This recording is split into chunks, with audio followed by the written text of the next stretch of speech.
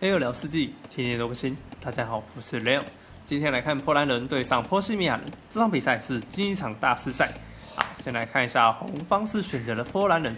那波兰人最大的特色，只要在大庄园旁边撒下农田之后，就可以立即获得八 percent 的食物。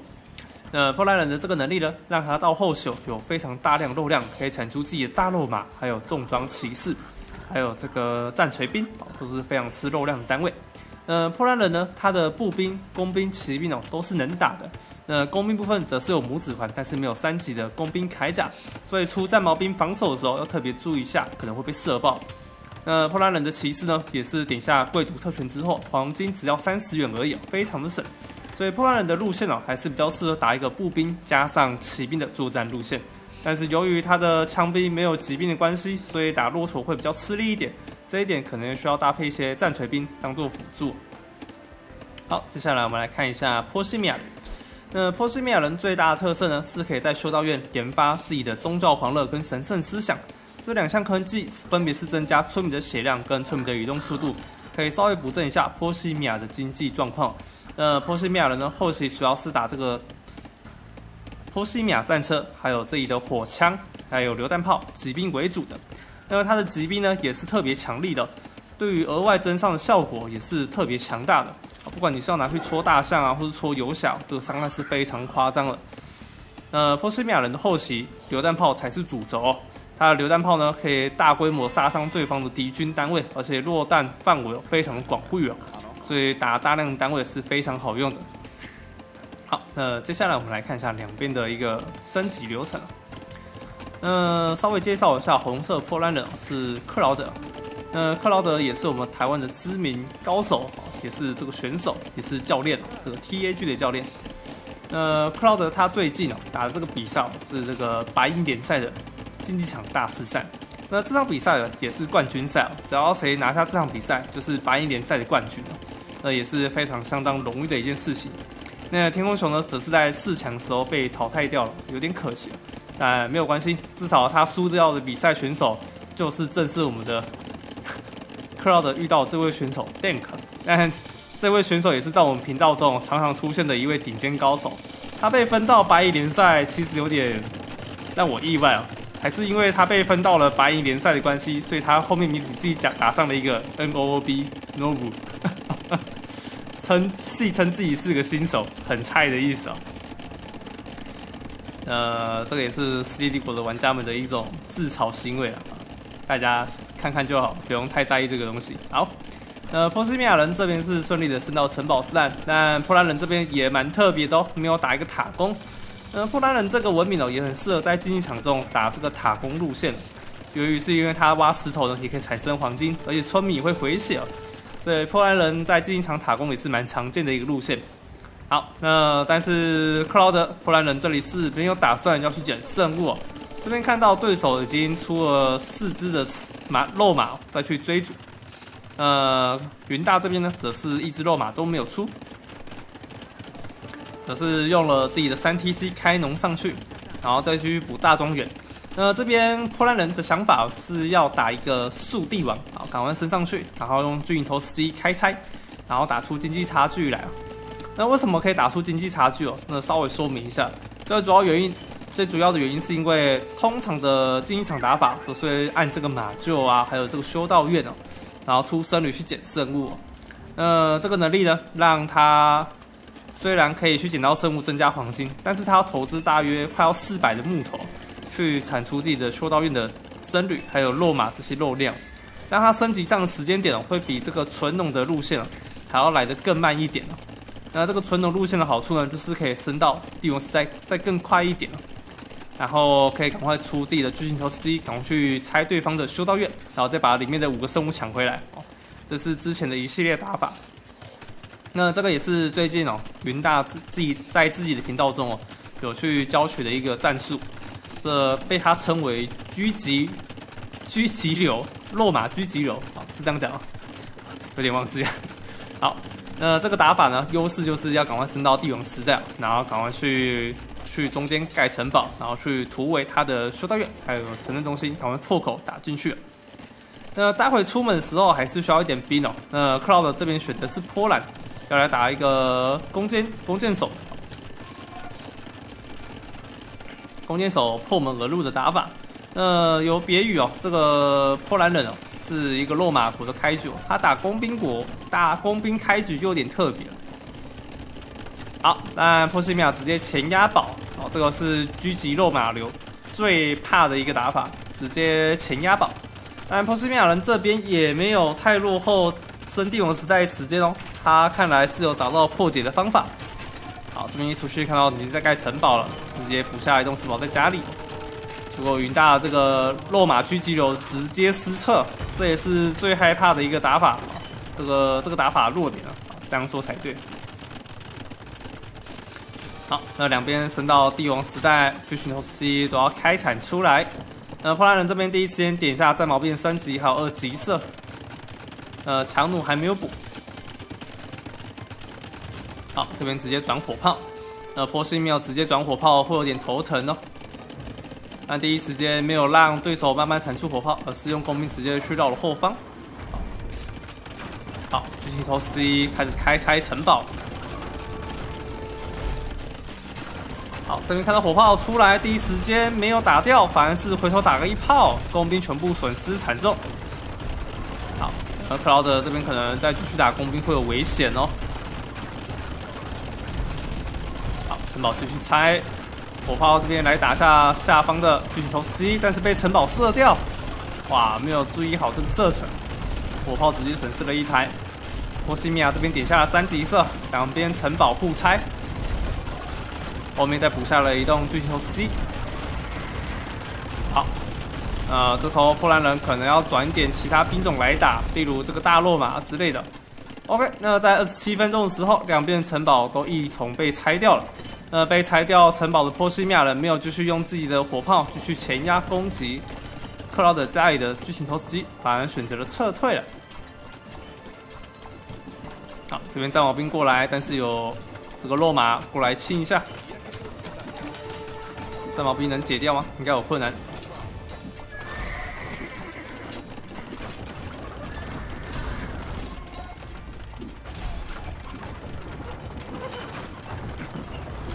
波西米亚直接回家，盖下了非常多的射箭场。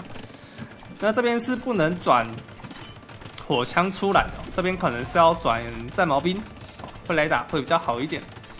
因为战矛兵的话，可以打得赢波兰的战矛兵之外，自己的火炮也是有这个优势在的。那现在波西米亚的重点，就是要转出榴弹炮的升级哦，才可以打出更大的优势来。那里补下了一个工程机制造所，这边是先升了骑兵吗？OK，先升了榴弹炮，榴弹炮一定要先升哦，这个不先升会很危险。好，波兰这边已经突围成功，开始把自己的建筑物慢慢搬了出去，开始挖外围石头。波西米亚则是在右边补下了第五栋城镇中心，还想继续开农啊？这个农的程度有点太夸张，太浓了吧？但是如果波西米亚这边转出骑兵来的话，待会波兰人这边如果转肉马或是重装骑士哦，都会被打，会被打得很惨哦。这也是波西米亚人对抗骑士的一个强势之处。呃，克劳德这边是继续转出工兵单位，然后升级了步兵的铠甲，要来打这个奥布奇转锤兵，而不是肉马开局哦。那这样就会有点有趣了。这个不是我们常见的波兰开局，而是战锤兵。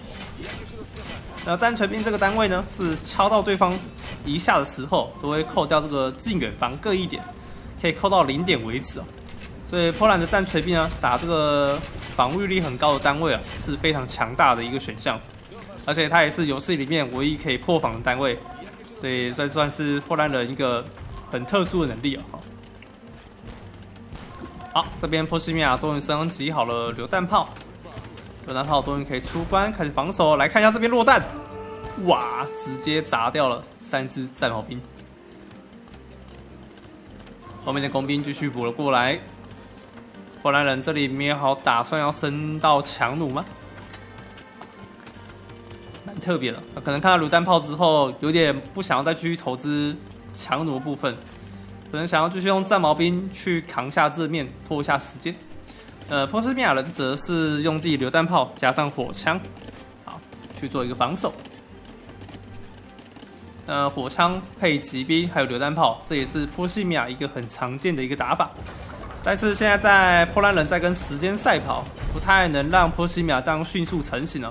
然后一成型之后就会有点难打，除非这边可以尽可能的拆掉对方榴弹炮，还有这个工程器制造所跟正面的部队哦。让自己的落马有机会去抓到后方榴弹炮，那才有机会可以打。好，波兰人这时候点下了金冠技术列克提克遗产。列克提克遗产点下之后，自己的大落马就可以拥有巴占庭圣骑兵一样的践踏效果。好，这边两边火炮互打，榴弹炮小心要中喽，哇，中了！呜，看这落地非常广。好，这时候终于打出了一个洞来。呃，波兰人这边是点下了三级的步兵板甲，这个榴弹炮直接一个反杀，两台火炮直接毁灭。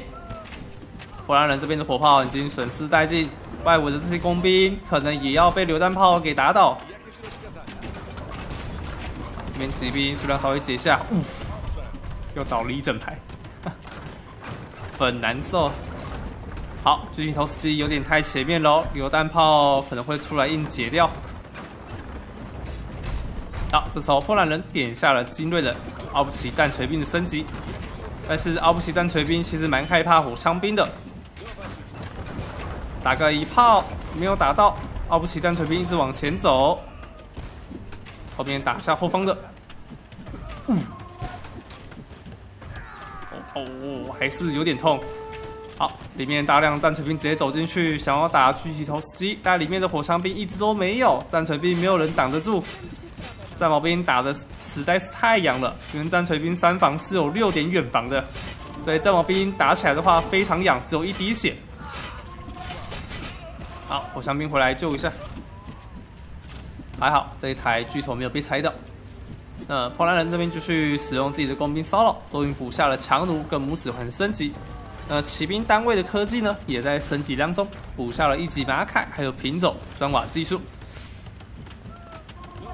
再继续打火炮的话，可能会越打越劣势哦，可能要转点机动性单位会比较好。但机动性单位又要处理这些骑兵哦，这个就是待会克劳德要处理的事情。这个是最麻烦的部分。好，火炮反击一下，残血受不掉，回头打个一炮，残血往外补一下。拿村民来修理一下。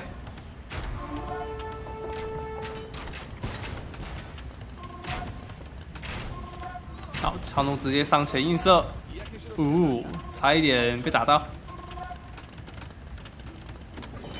好，波兰人这时候点下了二级马凯，还有肉马的升级，三级农也补下了。把波兰的状态打到最好。但这边弹道学还有一秒钟才好。OK，已经补好弹道学了。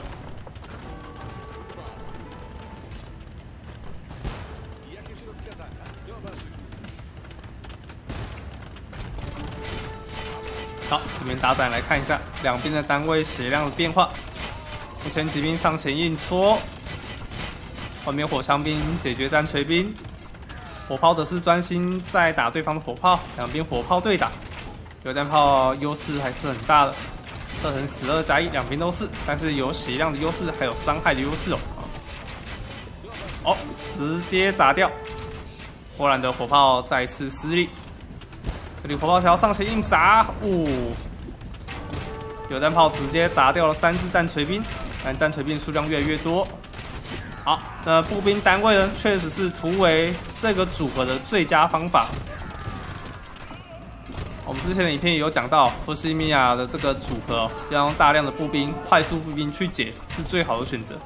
呃，确实，波兰这边也是转出了一些大量步兵，然后再配上自己的大肉马，哦，去做突围可能更不错。好，巨型投石机直接反插，哇，直接打掉了一台榴弹炮。榴弹炮士兵稍微走位一下，结果又被砸到了一台。两台榴弹炮直接被砸爆，剩下一台榴弹炮被大罗马给解决掉了。波兰这边反打的非常漂亮，波西米亚这边榴弹炮损失殆尽，这里要再补一些榴弹炮出来。好，还在补，慢慢补出来。又两门榴弹炮走出来，但是波西米亚现在攻城能力不太佳，这栋城堡做到非常多的事情，击杀到了二十二只的单位。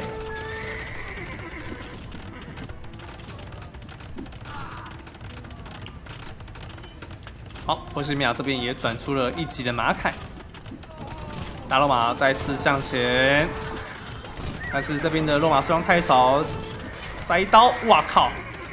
践踏伤害瞬间收掉榴弹炮，太猛了！这就是波兰的大肉马。嗯，克劳德这边他的木头有点爆，四千多木头了。这些木头要是全部转成肉马的话，啊，或是农田转出更多大肉马，啊，这个会更好用一点啊。那目前这边的打法配上大量的战矛兵，还有这个大罗马，确实是可以解，暂时可以解这个正面。只要榴弹炮数量不够多，就没有办法第一时间解掉大量的战矛兵。OK，左边的巨型投石机被解掉了一台，在毛兵继续持续上前硬点火炮，但这个有点硬点太要了，反而被火枪兵射爆了这些在毛兵。OK，但是波兰的城堡陨落，后面再补了一栋新的。好，这里农田补到了十一片田，还要再继续补一下会比较好。这边安全的农田其实并不多，待会可能要再找一些新的空地，再继续撒下更多的大庄园。好，农田数来到六十片田。好，火炮再次再次反击回去，大罗马再次向前上前硬砍，但是这个残血的没有砍掉，后面太多骑兵太害怕，右后方的火炮解决掉了巨型投石机的侵扰。两三门榴弹炮直接走过来，呜，残血一滴，这里火炮挤得很好，再一枪戳掉了火炮。OK，后方的火炮也是很危险，三只大罗马过来，但是后方有非常多枪兵在等着。目前波西米亚这一波的攻势打的有点，说不算太好嘛，不算套也不太对，算好也不算好，有点五五开啊。这时候波西米亚点下了金冠，这个胡斯派改革。那胡斯派改革呢，最大的特色就是可以让他的修道院的科技哦，还有僧侣的造价全部都变成肉而已哦，不需要黄金。那这也是波西米亚后期的僧侣战很强大的地方哦。呃，波西米亚人这边有四千五百多肉，就可以转出大量的僧侣哦，去转出救赎思想，直接去应招对方的火炮，好，甚至一些重要的工程器。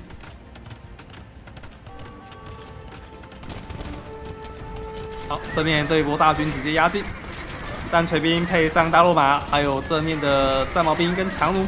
波兰这里有四种兵种。波西米亚这边骑兵加上火枪兵，直接戳爆正面大罗马，大罗马直接被全部戳掉。正面战锤兵也是受到火枪的射击之后，直接被逼退了回去。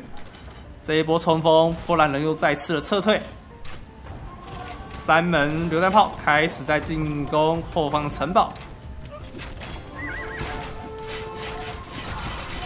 这边骑兵有点危险哦，这个骑兵如果送光大罗马，就有机会后面突围成功这一坨火枪，甚至后方的榴弹炮。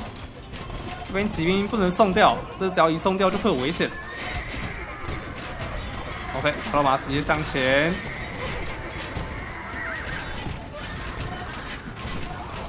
好，榴弹炮也是原地开火，打掉非常多的战矛兵跟强弩。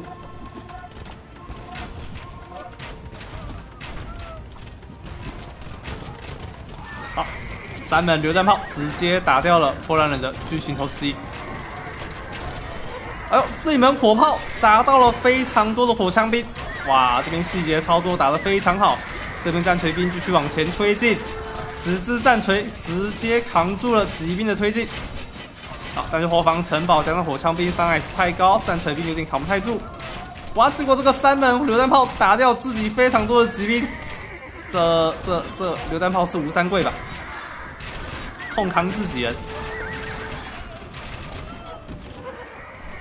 好，波西米亚这边已经点下了建筑学，增加一下建筑物的血量。增加一下防御力哦，不然这个血量太少，会有点危险。好，那破烂人比较好的地方哦，是右边这个矿区哦，已经全部拿下了。右边这边要继续深入推进，也不是没办法啊，也可以考虑出个大冲车开始顶，红路兵开始顶进去了。好，弗兰人这边木头量还是有点多，大庄园没有继续撒，六十片田停止了。好，这一波大罗马直接上前，想要直接收掉后方的工程器，榴弹炮跟巨型头司机第一时间被冲击到。但是骑兵瞬间戳掉非常多的大肉马，再一刀就可以收掉巨型头司机，搞定。后方榴弹炮只剩下两门，还有两台巨型头司机在做防守。波西米亚这边有五生物的优势，黄金可以继续磨，但破烂人这边黄金是有限的，所以不能把黄金消耗太凶。三台巨型头司机直接开拆，后面这一栋城堡没人修理，直接拆掉了。好，这里第一时间使用巨型头司机拆掉破烂人的工程器械。火枪还在继续输出，榴弹炮拆掉，这个残血的巨型头司机被火枪给射掉。看起来这一波交换两边都有点重伤哦。三巨头又再度被拆光，但是波西米亚这边损失了一栋城堡。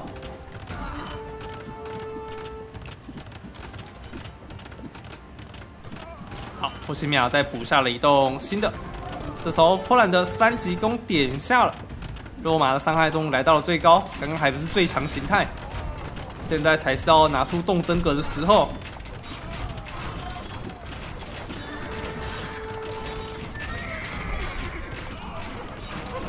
好，波兰上前，要冲了吗？这一波我觉得可以冲，前面的疾兵数量没有到很多。OK，冲刺直接硬抓后方的榴弹炮，榴弹炮被抓掉两门，这是非常大的战果。哇，这一波直接硬吃。看巨型投石机还在攻城当中，这一这一栋城堡可能也要守不住。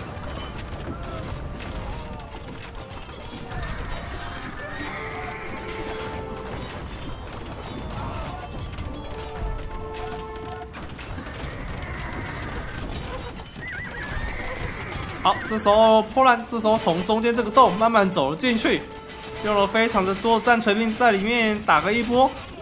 战锤兵打骑兵其实蛮好用的，因为它很坦，而且战锤兵本身的防护率跟血量就很多，五点的防护率，呃，打上对方骑兵哦，骑兵戳一下只有五滴伤害而已。好，当然家里也是转出了一些火枪兵做防守，开始能守住家里的内乱。但是正面部分火枪兵开始被战矛兵给打倒，火枪兵数量越来越少。后面的巨型投石机也架了起来，继续攻城。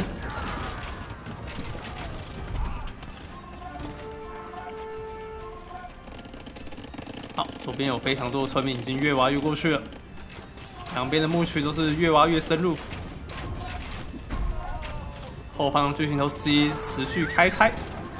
这里波西米亚的榴弹炮只剩下一门火炮，这一门火炮要是再被拆掉的话，攻城跟防守都会遇到困境哦。这个是波西米亚的命脉啊！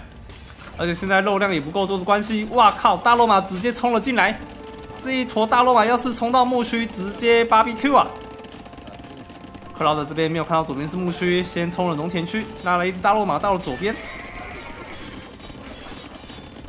开始开采里面的村民，非常多的骑兵回家防守。正面部分偷偷攻城，这里有机会。榴弹炮这时候不知道哪时候被打倒，剩下家里的火枪兵跟骑兵在前面防守。这里声东击西战术非常的漂亮。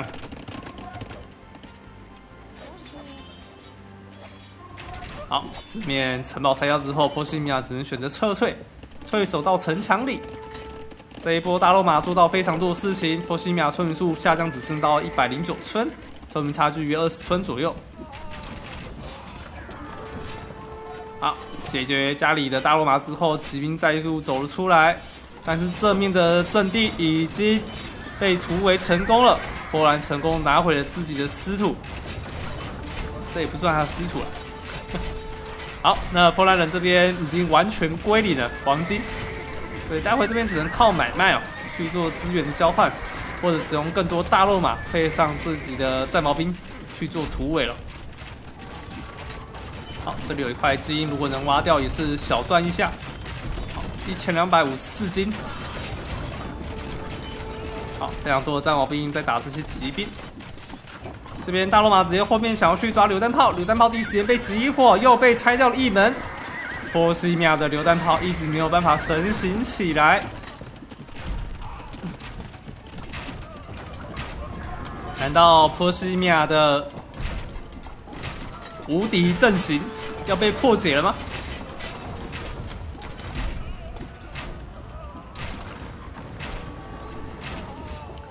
这一波换人。分两队打，打的实在是非常好。这里家里补一下村民，波西米亚重新护好自己的阵地。这时候波西米亚点下了三级伐木，战锤兵继续补下。OK，把所有的黄金投资在战锤兵身上。待会如果再打出一个洞来，待会大罗马直冲里面的火枪兵，再抓掉大量的骑兵，就可以搞定这场比赛了。没有想到波西米亚这边黄金有五生物，居然要打输吗？OK，生物被打喷出来，赶快拿僧侣到后方捡取生物。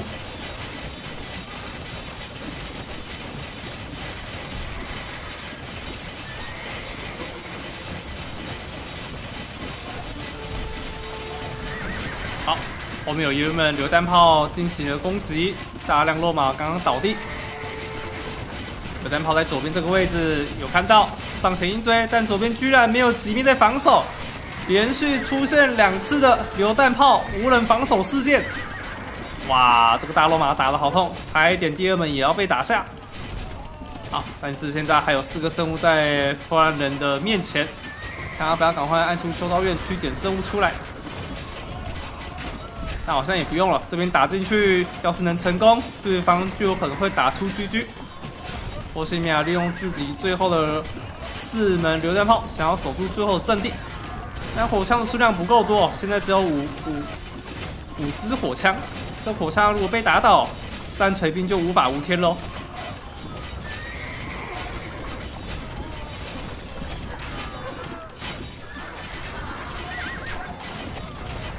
好这边战矛兵也是输出到了非常多的骑兵，骑兵也是疯狂倒地。这个洞可能要被钻进去了，即将失守，波西米亚的城镇可能要陷落了。好，榴弹炮剩下两台。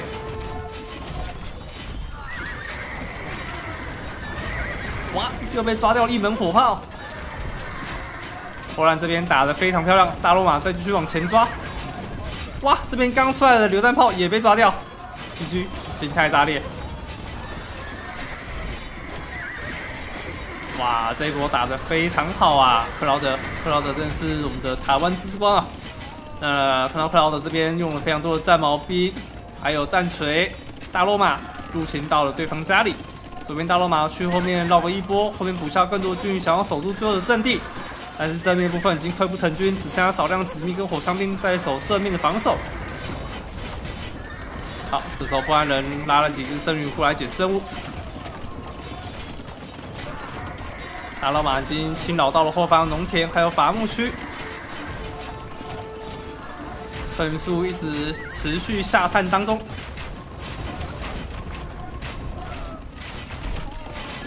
哇！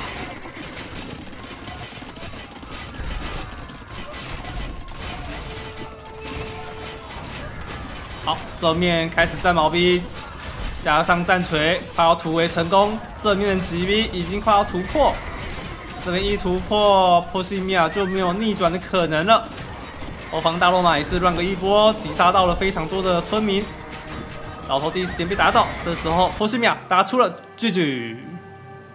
哇，出了三百七十五只的大罗马对上五百五十八只的骑兵，但最后是由出落马的那一边打赢了最后的比赛。各位，这个就是波兰的大罗马，立刻提克遗产，后期没有黄金，跟鬼一样，啊，非常的强大。